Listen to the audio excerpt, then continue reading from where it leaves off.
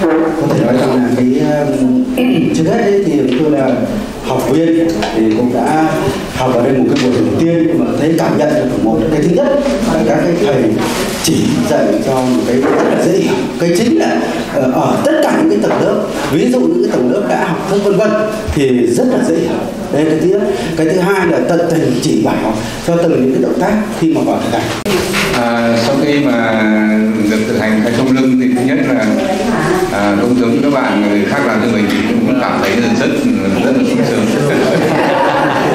Cái thứ hai nữa là sau khi mà làm xong ấy thì thấy rằng nó người nó nhẹ nhõm hẳn đi.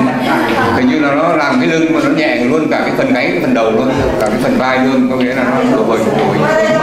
Cho nên là nó cái, cái, cái phần này nó thông lẫn nhau cho nên mình làm thấy không những nhẹ cái lưng mà còn nhẹ cả cái vai và nhẹ cả cái, cái cổ đấy cái còn thao tác thì thì ban đầu thì nó hơi cái, cái tay của mình nó hơi cứng một tí. Nhưng mà thực ra cái động tác này nó cũng rất là đơn giản thôi.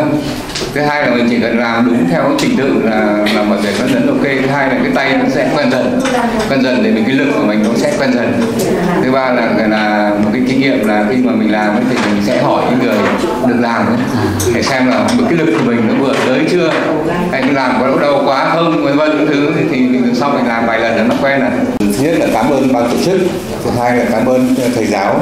Và các anh chị em nó phục vụ ngày hôm nay rất là tận tâm tận tình. Chỉ bảo những cái điều rất là bổ ích và rất là giá trị và rất là quý giá.